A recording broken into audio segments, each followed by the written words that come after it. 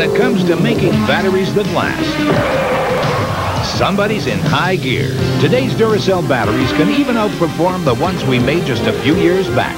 You can't top the Copper Top.